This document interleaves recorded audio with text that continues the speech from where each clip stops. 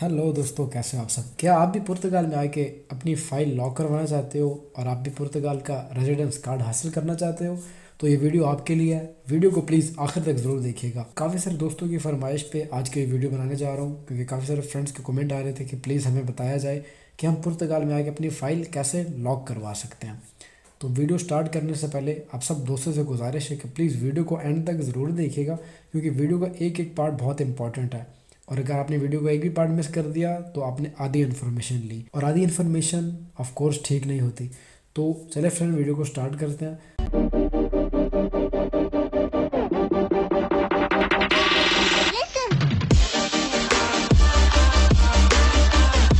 पुर्तगाल में file lock करवाने के लिए सबसे पहले ज़रूरी है कि आपकी जो इंट्री है, वो पुर्तगाल में कैसे हुई। यानी कि अगर आप जहाज़ के थ्रू आए, बस के थ्रू आए या ट्रेन के थ्रू आप पुर्तगाल में आते हो तो आप जो आपके टिकट्स या आपके बोर्डिंग कार्ड्स वगैरह होते हैं, बोर्डिंग पासेस, आपने वो हमेशा संभाल के रखने हैं। क्योंकि वो एक एक डॉक्यूमेंट बहुत इंपॉर्टेंट होता है। ऑफ़ कोर्स जो आपकी पुर्तगाल में एंट्री होती है, वो लीगल हो या इलीगल वो भी मैटर करती है। लेकिन जो आपके जहाज़ के टिकट होते हैं या जो बस के टिकट होते हैं या बोर्डिंग पासेस वो बहुत इंपॉर्टेंट होते हैं। आपने वो कोई चीज़ भी कहीं फेंकनी नहीं है, वो आपका एक एक डॉक्यूमेंट बहुत इंपॉर्टेंट है। इसके बाद पुर्तगाल में आने के बाद आपको सबसे पहले चाहिए होगा फाइनेंस नंबर तो फाइनेंस नंबर लेने के लिए आपको एक ऐसा बंदा चाहिए होगा जो पुर्तगाल में रह रहा हो और जिसके बाद वहाँ पुर्तगाल का कार्ड हो।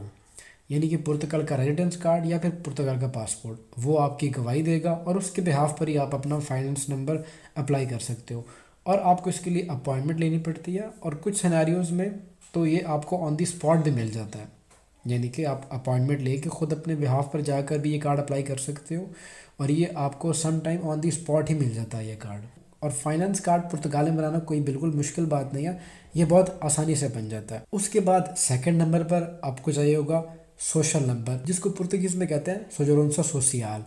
ये सेकंड नंबर का कार्ड है जो कि आपको चाहिए होगा, अगर आप अपनी फ़ाइल लॉक करवाना चाहते हो। तो पहला हो गया निफ नंबर, यानी कि फाइनेंस नंबर दूसरे नंबर पर सजोनो सोशल यानी कि सोशल सिक्योरिटी नंबर इसके बाद जो आपको तीसरे नंबर पर डॉक्यूमेंट बनाना पड़ेगा, वो बनाना पड़ेगा आपको दोस्तों जुनता दी यानी कि जुनता आपका एड्रेस कार्ड जुनता दी फ्रेग्रेंसी लेना भी कोई बहुत बड़ी बात नहीं है।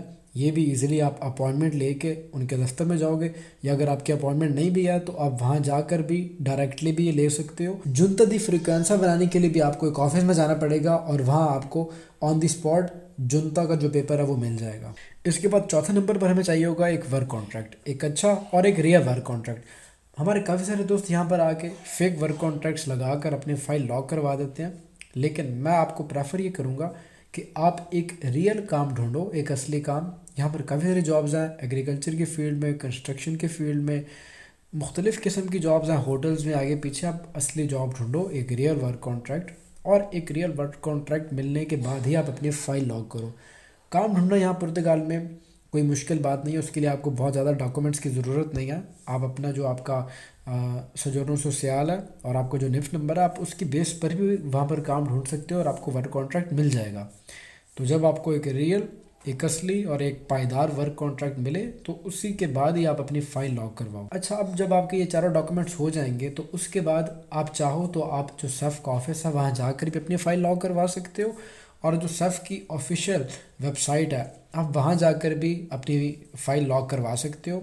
लेकिन अगर आप ख़ुद नहीं करते तो यहाँ पर मुख्तलिफ़ लोग हैं, ऐसे जो ये काम करते हैं, वो आपसे दस बीस यूरो ले लेंगे और आपकी जो फ़ाइल है वो ऑनलाइन ही वेबसाइट के थ्रू वो लॉक करवा देंगे। जब आपकी फ़ाइल लॉक हो जाती है तो फिर आप भी क्यू में आ जाते हो, फिर आप भी वेटिंग लिस्ट में आ जाते हो। अभी जो पुर्तगाल में टाइम चल रहा है, वो चल रहा है फ्रेंड्स दो साल का। यानी कि जिन लोगों ने दो साल पहले अपनी फ़ाइल लॉक करवाई थी, उनको अब कार्ड मिल रहे हैं। तो अगर आप अपनी फ़ाइल अब लॉक करवाओगे तो आपको जो पहला कार्ड मिलेगा, वो आप अपना टाइम काउंट कर लो। अभी से दो साल के बाद तो अभी से दो साल के बाद आपको अपॉइंटमेंट मिलेगी फिंगर्स की, और उसके बाद आपको कार्ड मिलेगा। तो अभी तक के लिए इतना ही फ्रेंड्स। अगर कोई चीज़ समझ नहीं आई या आप कुछ पूछना चाहते हो तो आप मुझसे मेरी वीडियो के कमेंट सेक्शन में पूछ सकते हो। मैं इंशाल्लाह आपको रिप्लाई करने की पूरी कोशिश करूँगा। अपना बहुत सारा ख्याल रखिएगा दोस्तों। मिलते हैं इसी तरह की किसी अगली वीडियो में। तब तक के लिए अल्लाह ने के बाद। असलकम बाय बाय।